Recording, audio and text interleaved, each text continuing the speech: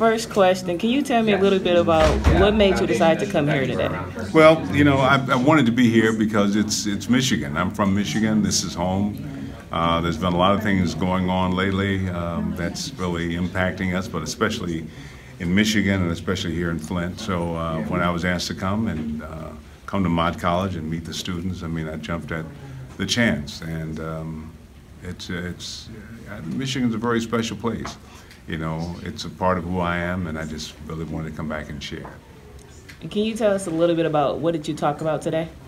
Well, I'm not quite sure. You have to ask some of the some people who are here, but to me, it's about uh, it's about life, and it's about the possibilities. And I always say, I know what it's uh, like to not have food, but I don't know what it's like to not have hope. I've always had hope. I've always been very blessed, and um, and I've always known who I am. And to me, that's really important to share with with um, especially young people to remember that uh, we're all really truly special and we're all part of that greater presence.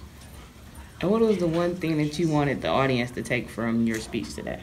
I think the one thing I want them to know is that you, you're never alone and that the possibilities are always there no matter what anybody says, no matter what agency says, um, that uh, you just have to dream it, believe it, and uh, anything is possible.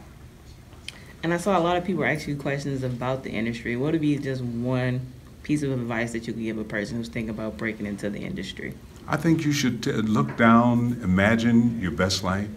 Imagine how it'll be when you have it all together the car, the home, the perfect relationship. Just imagine how life is going to be and be that now. Be the best person now, and all that'll come. You got anything for him? I was just to say, any advice for young men and women growing up here in Flint or in Michigan today?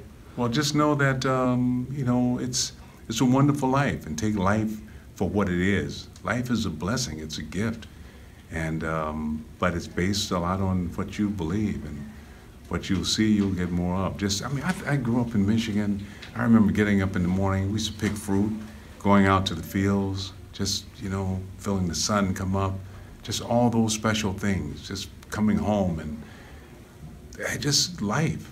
Enjoy the life part of it. Don't get overwhelmed with the what appears to be the impossibility because nothing is impossible.